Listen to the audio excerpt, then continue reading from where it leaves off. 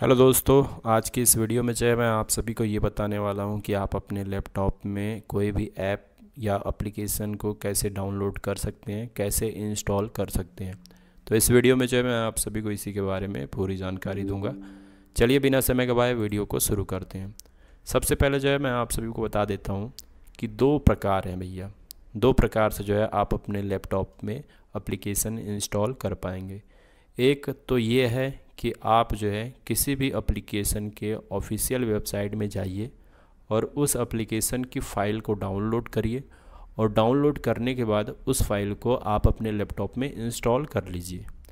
ये पहला प्रकार हो गया। जैसा कि आप यहाँ पे देख सकते हैं फ़ोटोशॉप यहाँ पे क्रोम ब्राउज़र प्रीमियम प्रो ओ ये जो एप्लीकेशन जो है मैंने अपने लैपटॉप में इंस्टॉल किया है ये मैं जो है ना इनके ऑफिशियल वेबसाइट में गया हूँ। फिर वहाँ से जो है मैंने इन अप्लीकेशन को अपने लैपटॉप में जो है इंस्टॉल किया ठीक? दूसरा तरीका ये होता है, जैसे हम अपने मोबाइल में प्ले स्टोर में जाकर कोई भी एप्लीकेशन इंस्टॉल कर सकते हैं, वैसे आप अपने लैपटॉप के प्ले स्टोर जो कि माइक्रोसॉफ्ट स्टोर रहता है, उसमें जाकर भी जो है आप अप्लीकेशन इंस्टॉल कर पाएँगे। लेकिन अधिकतर जो काम के एप्लीकेशन रहते हैं ना, वो वेबसाइट में जाकर उन एप्लीकेशन के ऑफिशियल वेबसाइट में जाकर उनकी फ़ाइल को डाउनलोड करके और उनको जो है इंस्टॉल करना रहता है। ठीक है? तो सबसे पहले वाले प्रकार के बारे में हम जान लेते हैं कि मान के चलिए हमको किसी भी एप्लीकेशन के वेबसाइट में जाकर उस एप्लीकेशन को इंस्टॉल करना है तो कैसे करेंगे? तो चलिए मैं क्रोम ब्राउज़र ओपन कर लेता हूँ। यहाँ पे एक एप्लीकेशन है गेट पेंट डॉट नेट ये एप्लीकेशन भैया, इसकी वेबसाइट का नाम जो हम लिख के गूगल में सर्च करेंगे। सर्च करने के बाद इसकी वेबसाइट जो ऊपर की तरफ़ दिखाई दे रही है, इस पर हमको कर देना है क्लिक अब दोस्तों, यहाँ पे जो है वेबसाइट का जो लेआउट रहता है ना, वो हर वेबसाइट का अलग अलग रहता है। अभी यहाँ पे जो है डाउनलोड का ऑप्शन जो है यहाँ पे देखने को मिल रहा है। अगर आप कोई दूसरा एप्लीकेशन के वेबसाइट में जाएँगे तो वहाँ पे जो है डाउनलोड का ऑप्शन कहीं दूसरी जगह पे जो है आपको देखने को मिल जाएगा। ठीक है तो कुल मिलाकर जो आपको यहाँ पे ढूंढना रहता है ठीक तो हमारा जो ये एप्लीकेशन का डाउनलोड करने का ऑप्शन यहाँ पे दिखाई दे रहा है यहाँ पे क्लिक कर देता हूँ क्लोज पे कर देता हूँ क्लिक फिर उसके बाद जो हमको यहाँ पे क्लिक करना है यहाँ पे सेलेक्ट कर लेता हूँ अब यहाँ पे जो आपको हमको जो यहाँ पे क्लिक करना है तो यहाँ पे हम क्लिक कर देते हैं तो जैसे क्लिक करेंगे तो एक फ़ाइल जो है हमारे यहाँ पे लैपटॉप में डाउनलोड हो चुकी है यहाँ पे जो आप देख सकते हैं तो इसको देखने के लिए जो हमको फोल्डर वाले ऑप्शन पे क्लिक कर देना है। जैसे क्लिक करेंगे तो यहाँ पे जो आप देख सकते हैं कि ये फ़ाइल जो है यहाँ पे हमारे लैपटॉप में जो है डाउनलोड हो चुकी है। अभी इस फ़ाइल को जो है हमको अपने लैपटॉप में इंस्टॉल करना है। जैसे ही इसको इंस्टॉल करेंगे तो हमारा जो एप्लीकेशन है वो हमारे लैपटॉप में इंस्टॉल हो जाएगा। इंस्टॉल कैसे करते हैं? तो इस पर जो आप डबल क्लिक कर दीजिए। जैसे ही क्लिक करेंगे तो बड़े आराम से जो है ये ओपन हो जाता है। फिर उसके बाद जो है हमको इसको सेलेक्ट करना रहता है।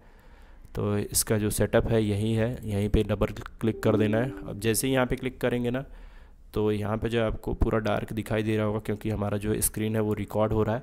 तो यहाँ पे जो मैं कैमरा चालू कर लेता हूँ और दिखा देता हूँ कि यहाँ पे जो है आपसे पूछेगा तो यहाँ पे जो आपको सिंपल यस वाले ऑप्शन पे कर देना है क्लिक ठीक है, जैसे क्लिक करेंगे तो यहाँ पे जो है आप देख सकते हैं कि थोड़ी सा जो है आपको समय लगेगा। तो यहाँ पे जो है हमारा एप्लीकेशन यहाँ पे दिखाई दे रहा है, इस पर मैं क्लिक कर देता हूँ। यहाँ पे जो है कंटिन्यू का ऑप्शन दिखाई दे रहा है, इस पर क्लिक कर देना है। जैसे क्लिक करेंगे तो यहाँ पे जो इसकी फ़ाइल जो बची हुई जो चीज़ें रहती हैं, वो यहाँ पर डाउनलोड होती हैं। किसी किसी एप्लीकेशन में जो है ये प्रोसेस अलग प्रकार की रहती है। ठीक है? हर एप्लीकेशन में अलग अलग जो है यहाँ पे प्रोसेस जो है आपको देखने को मिलेगा। ठीक? तो यहाँ पे जो है कुछ ऐसा दिखाई दे रहा है। ध्यान रखिएगा, आपका इंटरनेट जो है चालू होना चाहिए। और किसी किसी एप्लीकेशन में जो है इंटरनेट की ज़रूरत भी नहीं रहती है। ठीक, फिर उसके बाद जो है यहाँ पे पूछ रहा है तो हम इसको कस्टम सेलेक्ट कर लेते हैं। फिर उसके बाद जो है नेक्स्ट वाले ऑप्शन पे क्लिक कर देना है। फिर उसके बाद जो है इसका टर्म एंड कंडीशन है तो आई एग्री पे क्लिक करके नेक्स्ट वाले ऑप्शन पे हम क्लिक कर देते हैं। फिर से नेक्स्ट वाले ऑप्शन पे क्लिक करना है और फिर से जो है नेक्स्ट वाले ऑप्शन पे क्लिक करना है और फिर से जो है यहाँ पे नेक्स्ट वाले ऑप्शन पे क्लिक कर देना अब जैसे ही क्लिक करेंगे तो ये एप्लीकेशन जो है हमारे लैपटॉप में जो है इंस्टॉल होना शुरू हो चुका है और यहाँ पे जो ये इंस्टॉल हो चुका है, यहाँ पे फिनिश का ऑप्शन दिखाई दे रहा है तो इस पर क्लिक कर देते हैं।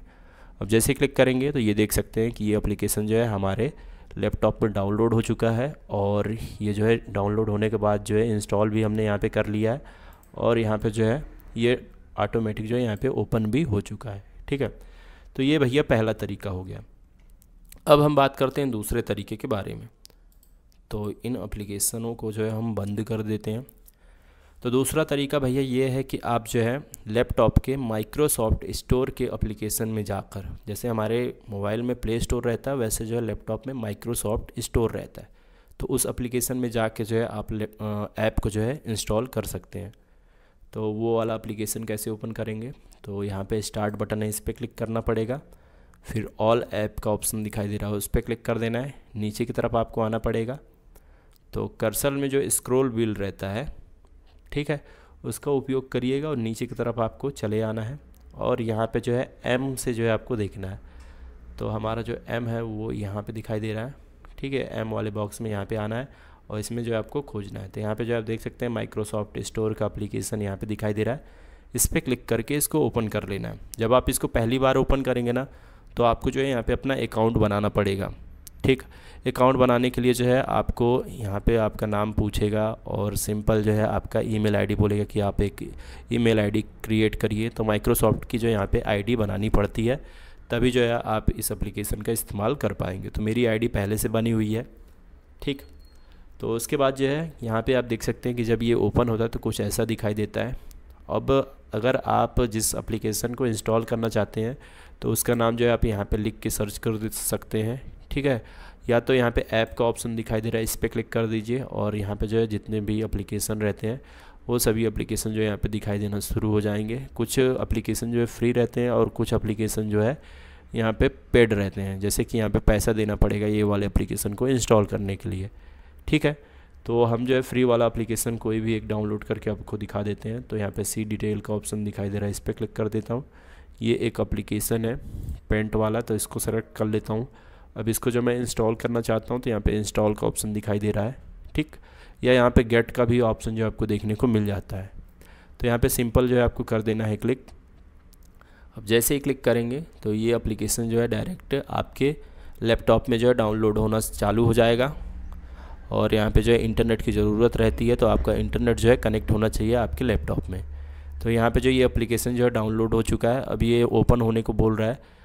तो यहाँ पे आप सिंपल ओपन वाले ऑप्शन पे क्लिक करके इसको ओपन भी कर सकते हैं। या तो आप जो है स्टार्ट बटन पे क्लिक कर दीजिए, फिर ऑल पे चले जाइए और इसका नाम आई से शुरू था तो हम आई वाले ऑप्शन पे चले जाते हैं। ये देखिए आई पे जो है ये वाला एप्लीकेशन है न्यू यहाँ पे लिखा हुआ देखने को मिल रहा है। तो इसी एप्लीकेशन को जो है हमने अभी डाउनलोड किया था और इसको जो है आप इस पर क्लिक करके ओपन भी कर सकते हैं। सिंपल यहाँ पे क्लिक कर देना है। तो यहाँ पे ओपन होने में थोड़ी सा समय लगेगा।